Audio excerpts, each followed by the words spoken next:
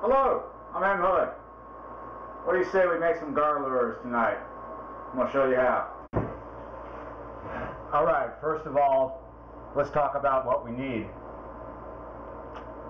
Ah, love Dr. Pepper.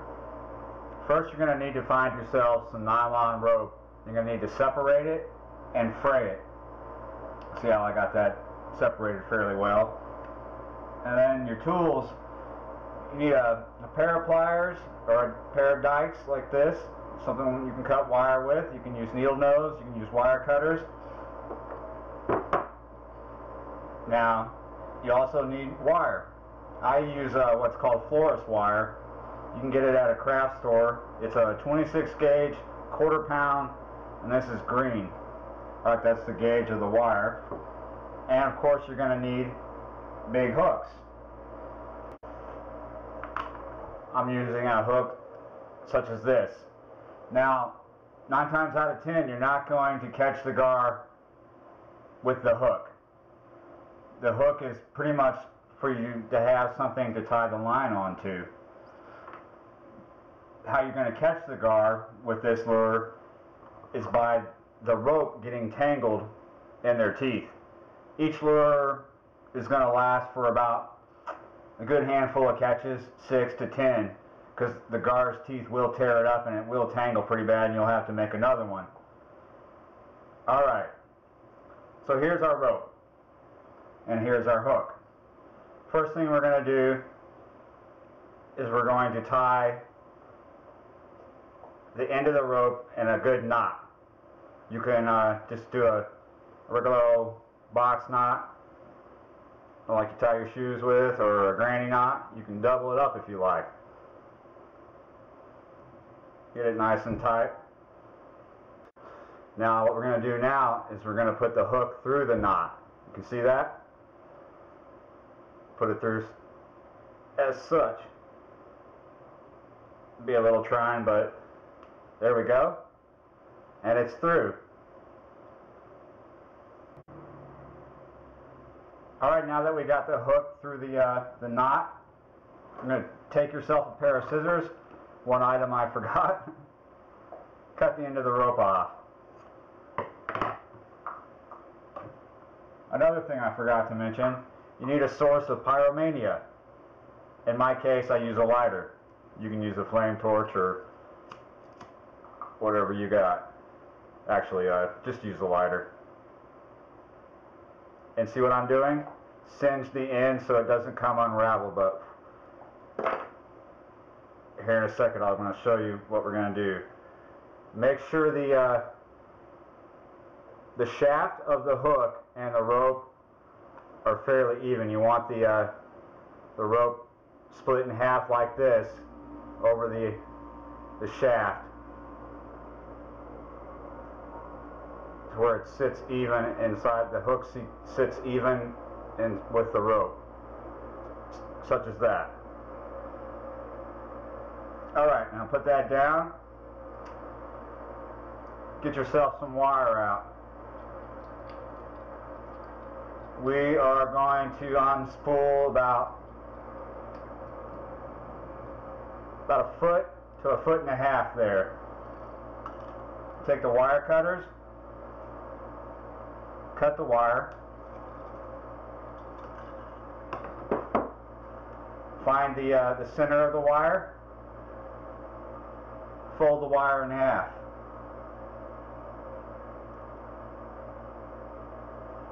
Up at the top of the hook where the eye is, right beneath the eye, put the center of the wire there. Then with the two strands of wire you have exposed now, tightly wind the wire around the rope and the shaft.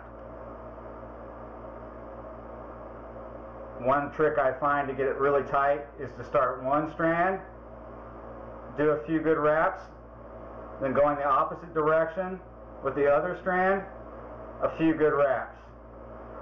See, I'm holding the eye of the hook as I wrap.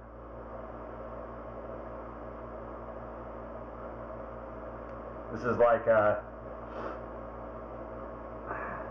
do-it-yourself giant fly fishing, how to tie a, a giant fly. Now you don't have to get it pretty and you don't have to get it ugly. You can do how, do it however you want.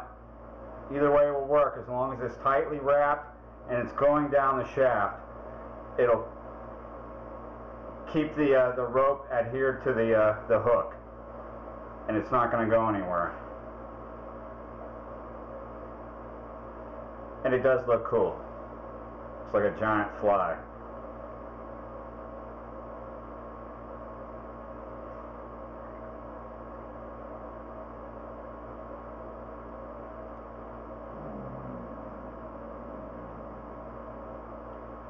Get it all wrapped on there nice and tight, nice and good. Going down the shaft. Always wrapping each strand in the opposite direction of the other one.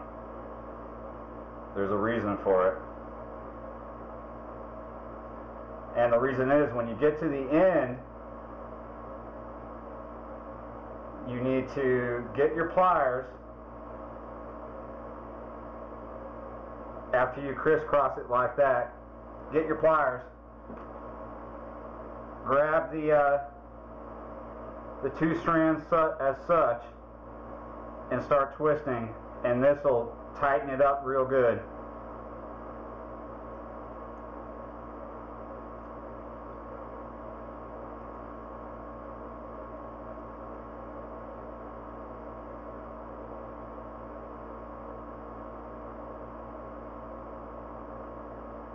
and this will keep the uh, the wires from coming loose. Then take your uh, your wire cutters and snip that down close to the rope.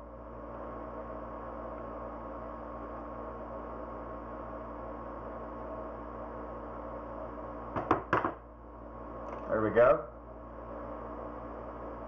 Now the other reason why I like to make these with a hook. Not everybody makes them with a hook, by the way. Is because I, I use a float for these.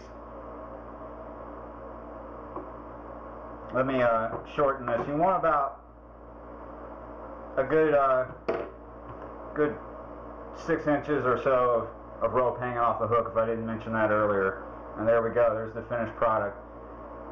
Now, the reason why I like to put the, the hook on there because I do use a float and I put a little piece of shrimp on here and I throw this out and I wait for the gar to, to come into the area and I start jigging on the uh, the line and making a little activity going on out there.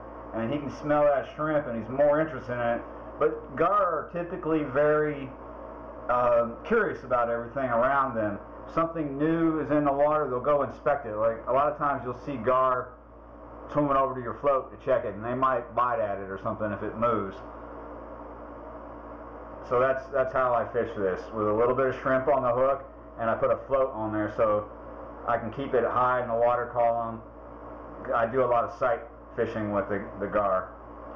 I like to see them. I don't just throw it willy-nilly. I, I go and find them. And I do it at night, typically a hot night. That's when I have my best uh, success with gar. Now let me show you some of the ones I've made in the past. This is the first one that I ever made. This is a simpler form of it. You just get your nylon rope, you separate and fray it a bit like this, a knot with the singe, and you just have the hook through here without any wire, and the, the rope lure just hangs off the end of the hook.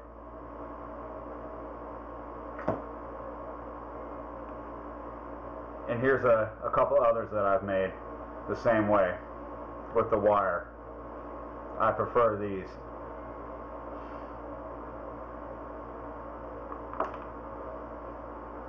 Alright, I hope you enjoyed my little how-to video. Good luck fishing out there. Tight lines and take care.